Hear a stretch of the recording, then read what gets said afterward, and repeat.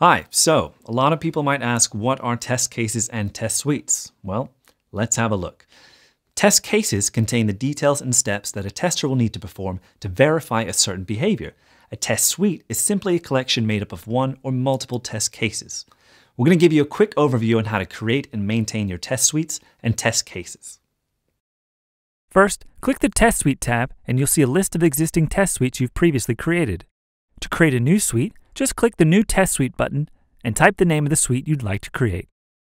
Once you've created your test suite, you can go on to create a new test case.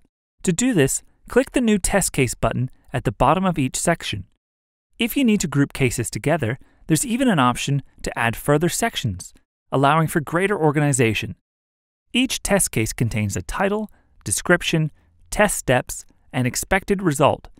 Additionally, you can relate one or more requirements to each case, as well as uploading any important documents or images.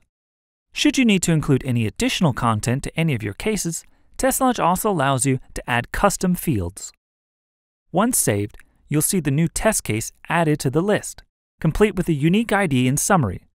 We'll return to the test suite once we've added a few more test cases.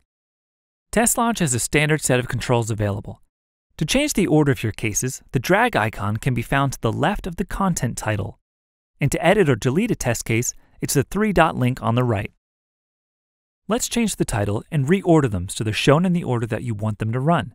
You can even move them into different sections simply by dragging them across. Want to see when a previous test case has been executed? Just select the Test Run Stats link, and you'll be shown an overlay displaying the most recent results. If you have any existing test cases within a spreadsheet, TestLodge lets you quickly import them. To do this, select the Import Test Cases link in the suite you intend to import into, and you'll be taken to a screen that will guide you over the import. Please remember that Test TestLodge will create a single test case for each row in your spreadsheet, and we generally recommend a new test case for each time you have something that needs verification. Finally, if we return to the test suite, there's the ability to export your content. Exporting is covered in the previous video for test plans and requirements, so we won't go into any more detail here. So, now you have the tools and knowledge to create and maintain your test suites and test cases. Stick with us as we delve into more of TestLodge's features as we explain how to create and execute test runs.